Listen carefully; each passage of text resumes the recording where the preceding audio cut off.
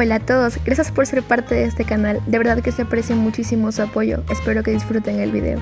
Aquí estamos para continuar la parte 2 de nuestras guías de pesca, en este caso para ver qué peces son los que podemos encontrar en verano. Sin más demoras, vamos a conocerlos. Quiero que empecemos con los peces de océano, como lo estás viendo, verano. El primero que tenemos en la lista es el super pepino, que este lo encontraremos desde las 6 de la tarde hasta las 2 de la mañana en cualquier clima soleado lluvioso. Después el pulpo, 6 de la mañana a 1 de la tarde. Como ves, solo tienes un rango de 7 horas para intentar atraparlo de nuevo en cualquier clima.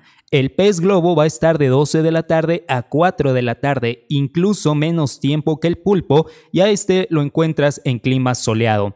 Cuando decimos peces de océano, olvidé mencionarte que no solo nos referimos a la playa de Willy. Si tienes disponible la isla Jengibre, también en el océano de la isla Jengibre te pueden salir estos pescados.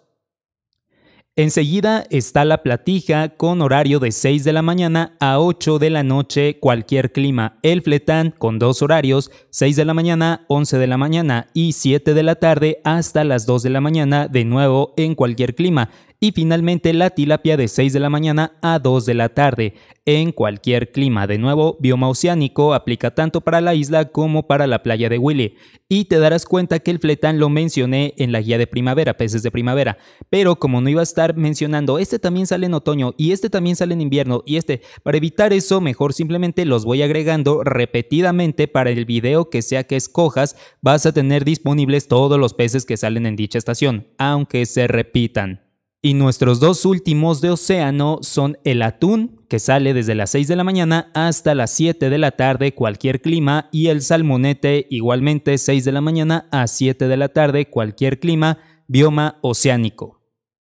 Y ahora vienen los de lluvia, ¿por qué no? En lluvia vamos a encontrar primeramente al pez gato, que también ya lo habíamos mencionado en primavera, este sale a las 6 de la mañana hasta las 12 de la mañana puro clima lluvioso. Lo puedes encontrar en ríos y en el lago del bosque secreto. Ríos ya sabes que me refiero al bosque tizón y al río del pueblo pelícano, los dos aplica. Después el sábalo desde las 9 de la mañana hasta las 2 de la mañana, clima lluvioso y también en ambos ríos, bosque tizón y ciudad.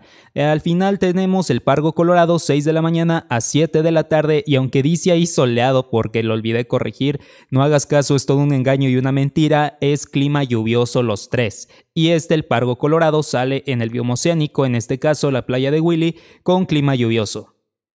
Le damos entrada a los peces de río que nos saldrán en verano. Está el saurí en primer lugar, lo vas a encontrar en cualquier hora, en cualquier clima, en el río y estanque del bosque tizón. Por eso te lo estoy señalando ahí.